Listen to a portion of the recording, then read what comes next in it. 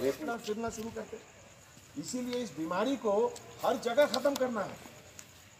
एक जगह भी ज़िंदा रहता तो उससे क्या होता फिर? फैलने फैलते रहता। है इसीलिए बहुत जरूरी है लॉकडाउन को 100 परसेंट सक्सेसफुल करना समझ रहे हैं ना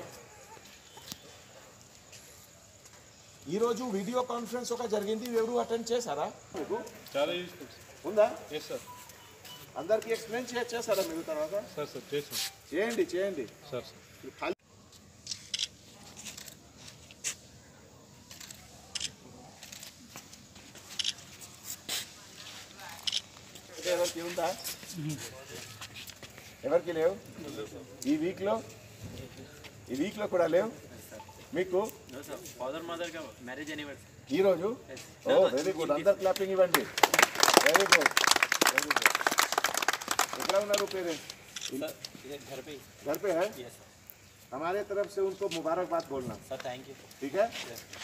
से,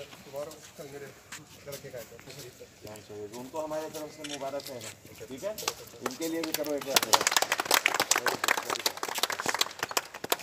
होता उससे ज़्यादा नहीं। पैंतीस साल सैंतीस साल अड़तीस साल में रिटायर हो जाता है ना? लेकिन इस तरह का चैलेंजिंग सिचुएशन 400 साल में एक बार आता। 400 साल में एक बार आता। तो सोचो कैसा इंपॉर्टेंट मौका है हम लोग का, नहीं? इसमें अपने आप को दिखाना कि हमारा डिपार्टमेंट क्या है, हम लोग काम क्या करते हैं। जल्दी से जल्दी कैसे खत्म करें?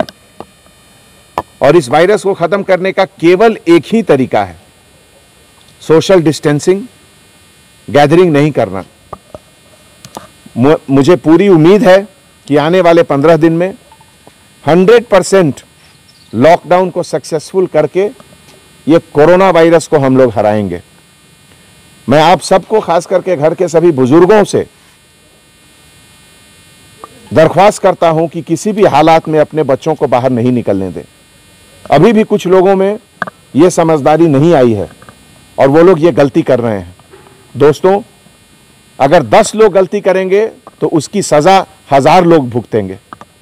इसीलिए मैं सबसे फिर अपील करता हूँ कि बाहर नहीं आइए, घर के अंदर रहिए और इस कोरोना वायरस को मिलकर इससे लड़िए और इसको हराइए। शुक्रिया।